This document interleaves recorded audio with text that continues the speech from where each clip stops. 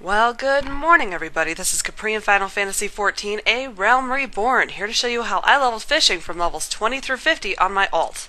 My entire route and all of the fine details will be in the description below, and I encourage you to copy and paste that for your own use.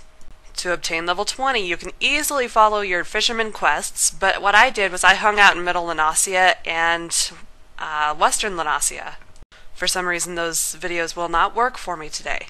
Starting at level 20, I went to the Upper Hathoeva River at position 1819 in the South Shroud. This location has three fish I'm interested in the dark sleeper and the Faerie Bass, which are used for repeatable fishing leves, and they are turned in a Quarrymill. I also wanted black eel, since they are used by culinarians for black eel pie for their leves. I will not be turning my leve items in, but I will, however, show you locations where you can get them. At level 25, I used Bass Ball, which can be purchased at Quarrymill, out to Goblinblood, which is still in the South Shroud, but at position 2721. The fish that we're interested here, um, they're the 5 Elm Pleco and the Dark Bass. Again, these are used for the repeatable fishing leves. At level 30, I went out to North Bloodshore in eastern La Noscea. Um, at position 3224, I used spoonworms to pick up what we are interested in here, which is black sole and sea pickle. These are also used for your repeatable fishing leves, and they are turned in at Costa del Sol. I decided to boost my income during this time frame also by going to Costa del Sol and about position 3531 in eastern La Noscea at uh, nighttime. From 6 p.m. to 6 a.m. Eorzea time, you can fish for full moon sardines, and these are actually very valuable fish. Starting at level 35, I chose two different locations that would give us fish for both our 35 to 40 leves and our 40 to 45 leves. The first location I would like to discuss is called the Nail.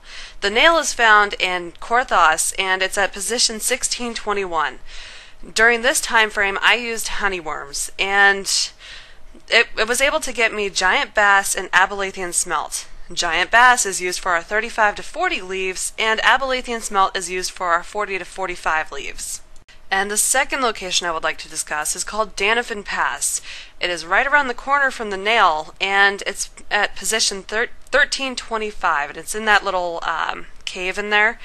And what we're looking for here is Lamp Marimo, which is used for our 35 to 40 leves, as well as Golden Loach, which, which is used for our 40 to 45 leves.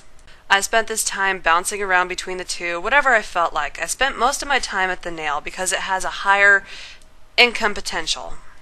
To reach level 40, it actually took me 24 hours straight Earth time and I even took a nap and a lot of AFKs, so fishing went really fast for me. I could have sped that up by using my leves or doing the quests as I go, but you know, even my way, it, it took me 24 hours to get to level 40. At level 40, I started fishing for level 45 to 50 uh, leaf fish, which are the Ignis snail and the sludge skipper. I chose Cerulean Field in northern Thanalan, about position 1620.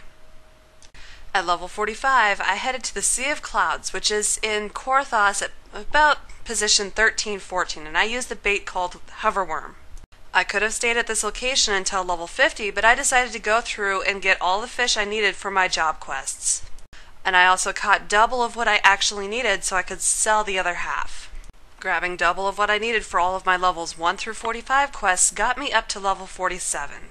After turning in all of my class quests, I went back out to North Bloodshore because this is where you catch the Mazlaya Marlin, which is for your level 50 quest, and I just kind of stuck around out here. You catch the Mazlaya Marlin by mooching a high quality harbor herring to catch an ogre barracuda. And then if you get a high quality ogre barracuda, you can double mooch that to catch the Mazlaya Marlin. And it took me about two hours to get from levels 47 to 50 out here. After obtaining level 50, I went back to town and I started listing my items. About that time, I had difficulty getting to the computer since, you know, a couple games came out, plus, you know, another game was, our interest was reignited. So I had problems getting to the computer. But here, a couple weeks later, I got to relist like twice, and I pulled um, 74,000 gil off of my first retainer and 111 111 gil off of my second retainer. I spent about 100,000 gil on baits, tackle, gear, teleports, and repairs while leveling. So that gave me, you know, about 85,000 gil as how much I earned just by leveling fishing. Alright, I would like to thank you for watching my video, and please come back in a couple more weeks when I start showing you how to make gil with farming.